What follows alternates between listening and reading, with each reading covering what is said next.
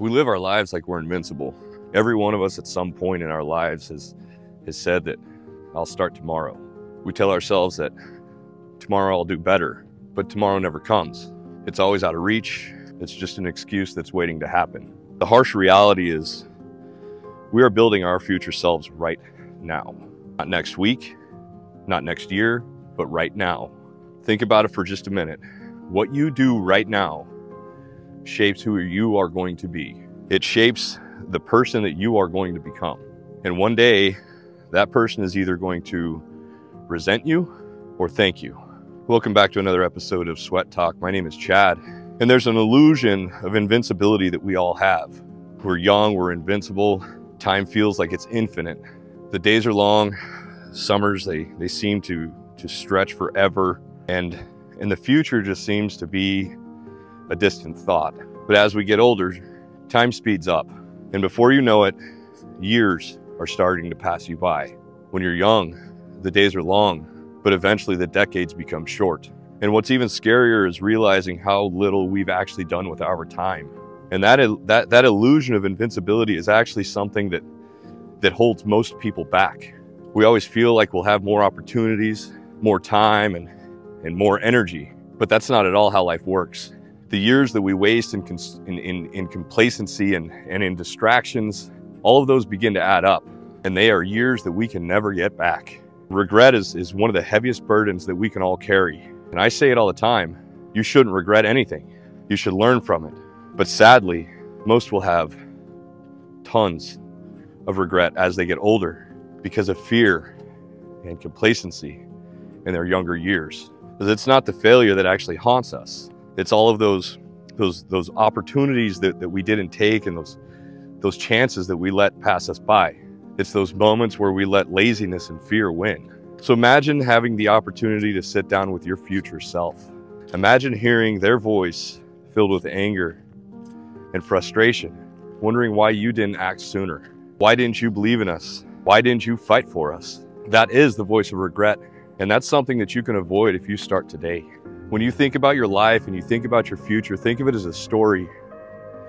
And think of it that that you are writing a new chapter every single day. And just like any book, some some of those chapters they're, they're filled with triumphs. Some of them are filled with failures. But every single one of them, it, it leads to a contribution of the legacy that you're leaving behind. Hello.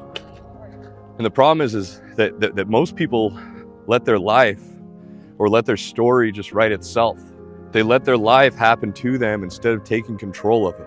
They drift from, from one moment to the next, just, just hoping that things are going to work out for them in a positive light. And they hope that somehow the, the future is just magically and miraculously going to improve. And the reality is, is, is your future isn't something that's just going to happen. It is something that you have to create. We constantly tell ourselves lies so that we can stay in our comfort zone and, and continue to procrastinate and believe me, I, I see it in the comments all the damn time. Several times a day, I'll, I'll see the comments. I'll start when the time is right. I'm gonna get after it tomorrow. I even see some of the older crowd saying, some people even my age, saying it's it's already too late for me. And if you think about it, these lies are seductive because all you're doing is giving you giving yourself permission to procrastinate. You're doing nothing more than than giving yourself permission to to avoid responsibility. And they're extremely dangerous because they rob us of, of the one thing that we can never get back, and that's our time. There is no such thing as the perfect moment. All you have is right now. I want to try to put, thing, put things into perspective so that, so that everybody can understand and actually see and realize the importance of utilizing your time and planning your future and planning, planning the best life that you can possibly live. So think about this. Every second you are alive, every single moment you are alive, you are one second closer to your inevitable demise. You are one day closer to the end of your life. There's a bit of a morbid reality. There will come a day where we close our eyes and we don't open them again. That is the only guarantee that we have in this life. And I'm not saying this to, to scare you or, or, or to, to create fear I'm saying this because I want you to wake up. I want every single one of you guys to wake up. We always live as if the, the, the, the number of tomorrows we have is endless. But the truth is, is we don't know how many tomorrows we have left. And if you're not living today, you are wasting the most precious resource that you have. And it's not about just those those big moments or those those huge monumental moments. It's all of the small things that we do.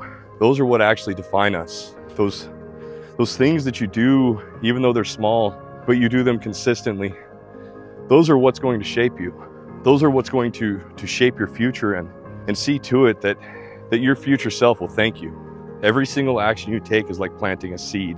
Some of those some of those seeds that you plant, they're they're going to turn into flowers, all beautiful and and brilliant.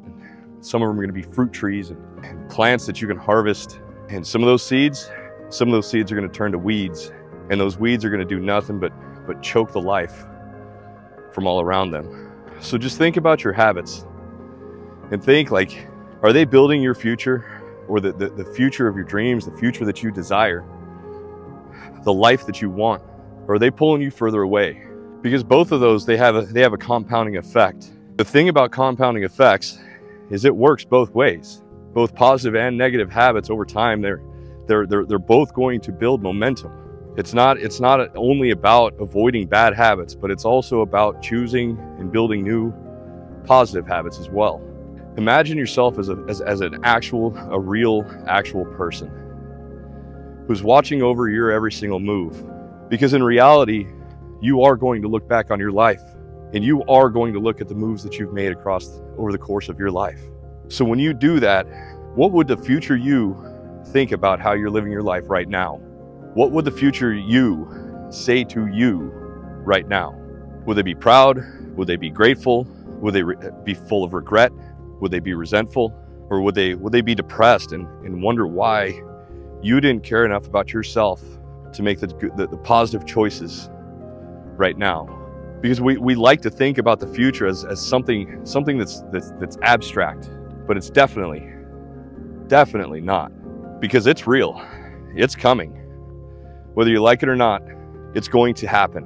And every single decision that you make today is going to shape your reality and your future. No matter how you want to look at it, no matter how you think about it. 10 years from now, five years from now, you are not going to be the same person you are today. So if we think about that and we think about our health, remember your body is the one thing, it's the one thing that you are going to carry for the rest of your life. And that body, that is a temple. It's not something that you can trade. It's not something that, that you can buy a new one of.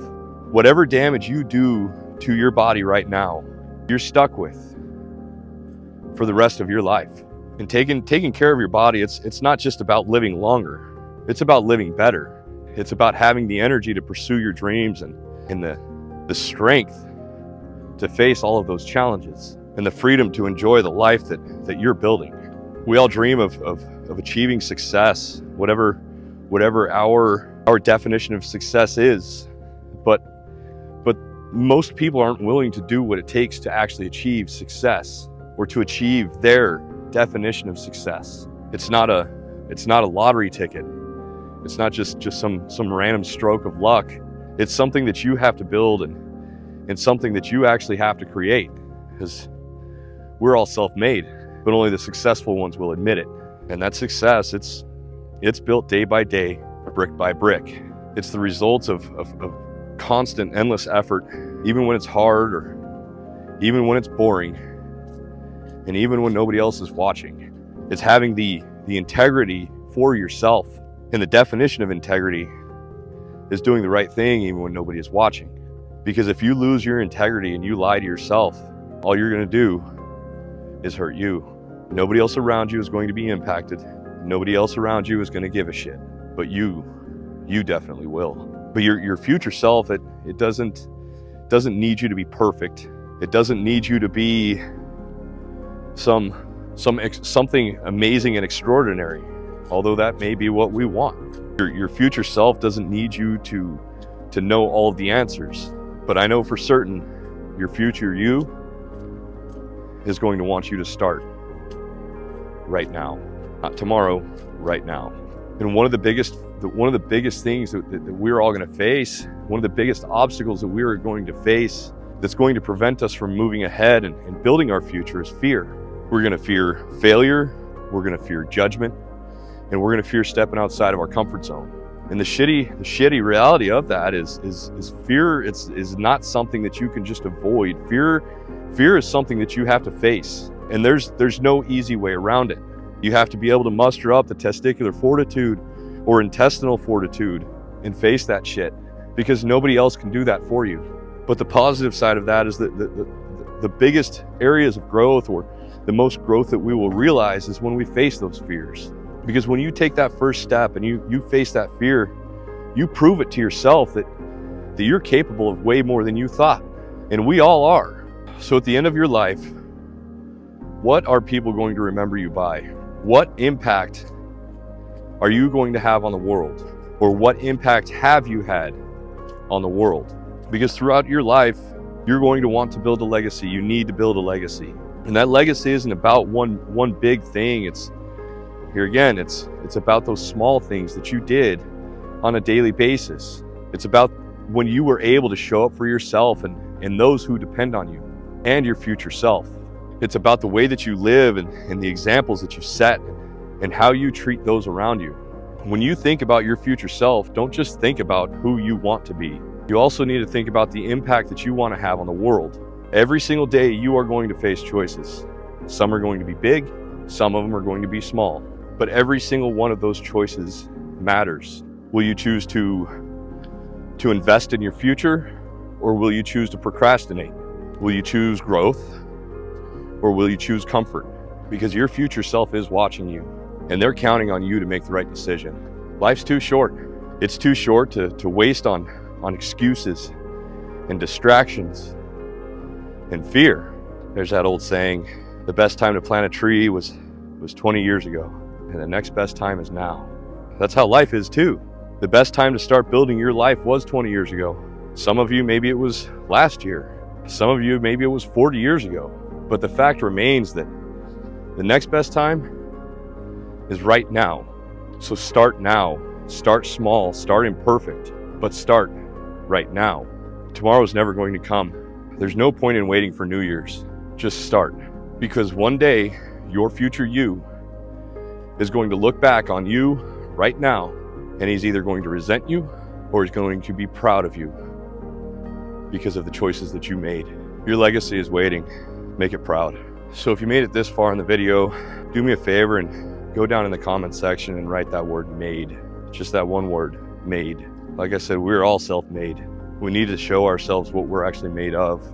We need to be proud of, of what we've made out of our lives.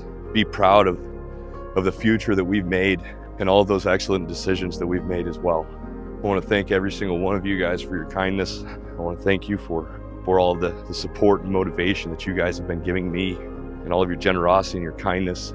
Thank you for those, those super thanks. And I forgot to add that by saying those one words, leaving those one word comments, it does more than you know. It helps the YouTube algorithm because the interaction, every single like, subscribe, and comment all adds up so that the YouTube algorithm will push this content out further. So it's one small thing if you found value in this, if you find value in any of my videos that you can do to help the channel and help it grow. If you got anything out of this video also, stick around to the end. Go check out my, my Sweat Talk playlist. It'll be up on the end screen. And I hope each and every one of you guys realizes that I appreciate the hell out of you. I appreciate you guys showing up. I hope you guys are showing up for yourselves and I hope you have a wonderful day. Peace.